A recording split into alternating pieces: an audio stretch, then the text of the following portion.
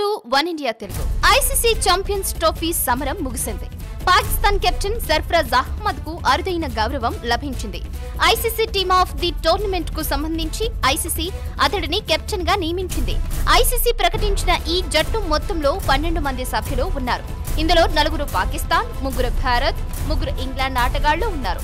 ఒకరు బంగ్లాదేశ్ ఆటగాడు పన్నెండవ ఆటగాడిగా New Zealand captain Kane Williamson ఎంపికయ్యాడు. పెద్ద టోర్నీ తరువాత ఐసీసీ ఇలా ఓ జట్టును ఎంపిక చేసి ఆటగాళ్ళను గౌరవించడం ఆనవాయితీగా వస్తోంది. ఈ జట్టుని క్రికెట్ ఎక్స్పర్ట్స్తో కూడిన జ్యూరీ ఎంపిక చేసింది. ఈ జ్యూరీలో మాజీ captain Michael Arthur Sourav Ganguly Ramiz రాజాలు ఉన్నారు. ICC team of the tournament సభ్యులు మీరే.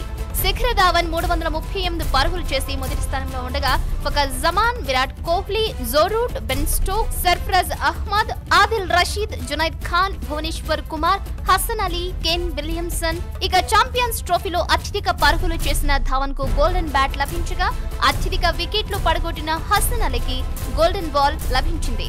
Thanks for watching One India Telugu for more details keep watching One India Telugu please like and share don't forget to subscribe